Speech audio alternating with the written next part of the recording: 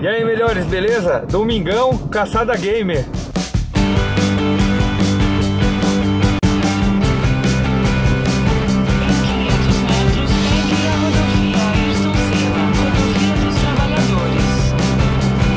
Seis e vinte da noite, um trânsito terrível aqui.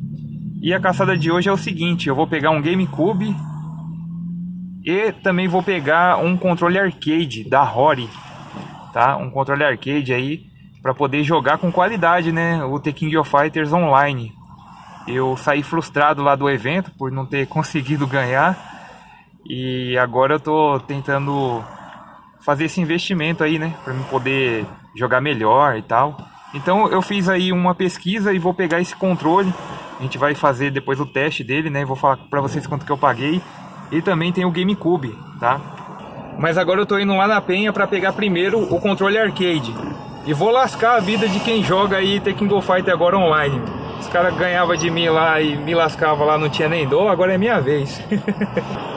Galera, eu já cheguei aqui na estação da Penha, deixei meu carro ali atrás, tá? E agora eu tô partindo para buscar o arcade. O rapaz já tá chegando já na estação também.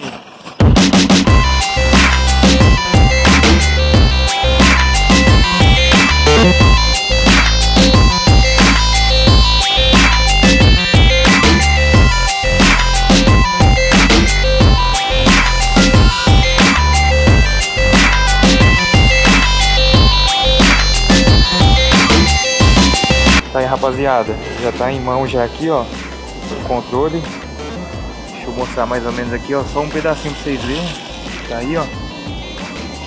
Chegando em casa a gente testa aí, eu mostro certinho. Agora partiu buscar o GameCube. Tá aí rapaziada, já aqui ó, o GameCube tá aqui né, aqui é meu controle. Mas chegando em casa eu vou mostrar pra vocês. Eu trouxe aqui os meus cabos, né? Minha fonte, meu cabo pra poder ver se tá funcionando. Tá aí, ó. Chegando em casa ali eu vou, vou mostrar pra vocês aí com mais detalhes, tá? Bom, então eu aqui agora no dia seguinte, tá? Pra fazer o teste das coisas aqui que eu peguei nessa caçada, tá bom? Então, é, vou começar pelas partes de GameCube, tá? Peguei aí, ó, um controle original preto. Eu ainda não limpei as coisas aqui, tá? Por isso que vai estar um pouquinho sujo aqui, né? Depois eu vou fazer uma limpeza para poder anunciar, tá? Tudo isso aqui vai em leilão lá no grupo Top Games Brasil, tá bom? E ver esses dois controles pretos, né? E esse daqui, ó. Azul, tá? Com a parte de trás aí transparente, ó. Beleza? Eu levei as minhas coisas para poder fazer teste desse GameCube lá no, no, no rapaz que estava vendendo, tá? E lá eu já testei, já vi que estava tudo funcionando. E eu vou testar aqui para vocês novamente, tá? Antes disso, deixa eu mostrar o GameCube aí no, no detalhe para vocês. É um GameCube preto, tá? Tá aí, ó. Ele tem as duas entradas, as duas é, entradas aqui, né? Encaixe de, de áudio e vídeo. Aqui embaixo tá com todas as tampinhas. E é americano, se eu não me engano. Isso, ele é americano. Olha aí que bacana. Não é destravado, tá? Estou aqui com um jogo, só tem um jogo só. Que é o Need for Speed Most Wanted. Esse daqui é meu da, da coleção, né? E a gente vai testar com ele, tá bom, gente? Então vou colocar aqui a minha fonte. E o cabo AV. E vamos lá pro teste. Funcionando, tá? Eu já tinha testado ele lá na casa do rapaz que me vendeu, como eu falei pra vocês. Funcionando aí de boa. Aí, ó, já começou a ler ali o Need for Speed, tá? E agora a gente vai pro próximo item, tá bom, gente? O próximo item é esse daqui, ó. Esse daqui é um controle arcade, tá? É o Real, Real Arcade Pro 4, tá? Esse daqui é da marca Rory. Olha aí, ó. Eu tava afim de um controle desse daqui para mim poder jogar online, né, o Tekken Go Fighter novamente.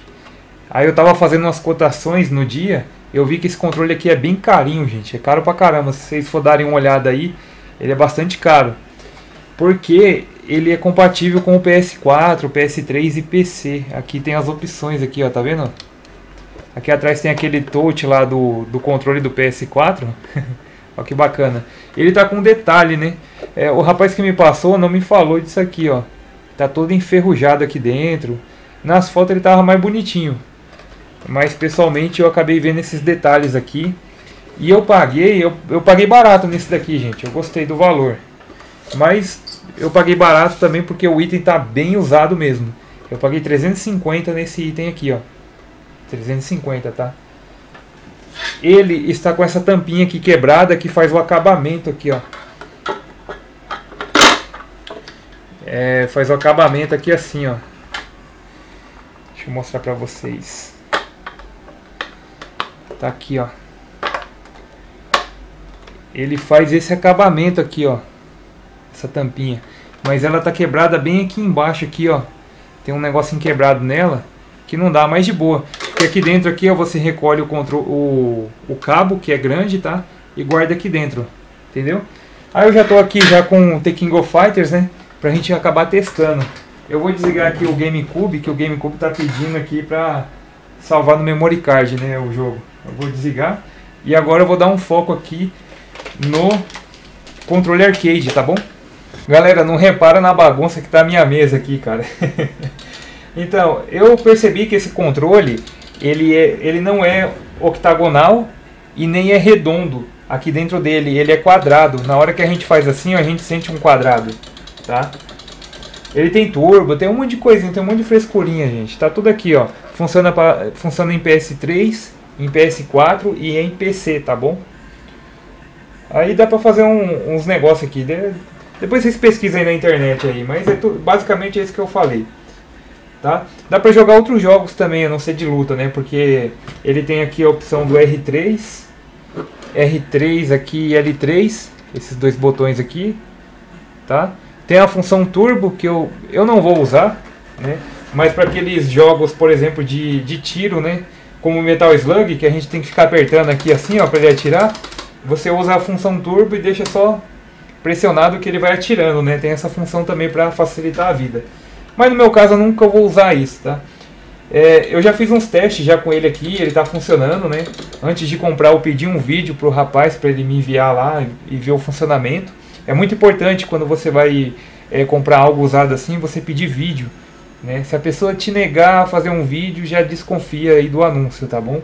Então ele fez o vídeo lá, de boa, vi que estava funcionando, cheguei aqui em casa, testei, tá? Antes de fazer esse vídeo aqui eu testei e graças a Deus deu tudo certo, funcionou certinho. Então, ó, agora é só questão de costume, tá, gente?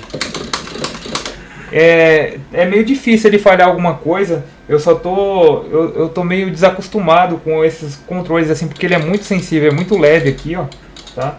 É, às vezes quando eu defendo para trás, é, ele defende diagonal para baixo, ou então ele dá uma diagonal para cima, entendeu? Tenho que acostumar muito com isso. E de restante, eu acho que eu não tenho que reclamar, gente, tá de boa. Deu uma falhadinha ali, né?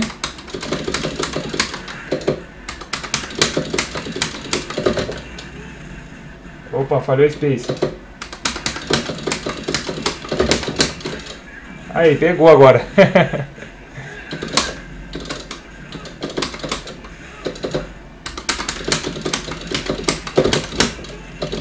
e falhou de novo. Bom, mas isso daqui é coisa de costume, né? Eu vi muita gente falando que você tem que acostumar mesmo com esse tipo de controle e, no, e não é no começo que você vai conseguir fazer isso. É depois de muito tempo, depois de muito treino, né? Você jogando que você vai acabar acostumando.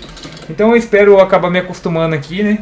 E tá tirando uns contrinhas aí com os inscritos do canal, né? Vocês estavam me cobrando aí de The King of Fighter pra gente jogar online. E aí, ó, agora a gente já pode já fazer aquela brincadeira, beleza, gente? Então o vídeo de hoje foi esse, estou muito feliz com essa aquisição aqui. Depois eu vou ver se eu faço algum, algum esquema de grudar ele naquela mesa ali que eu tenho, tá? De deixar ele anexado ali, porque como eu estava conversando com o Liro, né? Um abraço aí, Liro. É, eu jogo brutamente no controle, né? Eu tenho aquele costume de jogar com força mesmo, entendeu? E nesse controle aqui, apesar de ele ser grandão e ser, e ser pesado, mesmo assim ele, ele movimenta muito. Então eu queria deixar ele numa base fixa para mim poder jogar brutamente mesmo assim, sem o controle ficar se movimentando, porque nessa de movimentar a gente se perde todo, né? Quando o controle começa a... né? Então eu vou ver se eu faço algum esquema, alguma gambiarra para grudar ela ali naquela mesa ali. Né? Então o vídeo de hoje foi isso daí, gente. Estou bastante feliz com as aquisições, tá? E o GameCube mais o, os controles vão estar tá tudo em leilão lá no grupo Top Games Brasil. Então se você não é membro lá, não participa ainda, é, participe, né? Para vocês estarem vendo não só as minhas publicações, mas publicações de vários outros membros lá também que faz leilão, faz venda, de tudo sobre games lá, né? Em especial os games mais retrô. Beleza, gente? Então, deixem um, um like aí. Se você assistiu até o final do vídeo aí, comenta Caçada Gamer, beleza? Um grande abraço aí, galera. Fiquem todos com Deus. Valeu!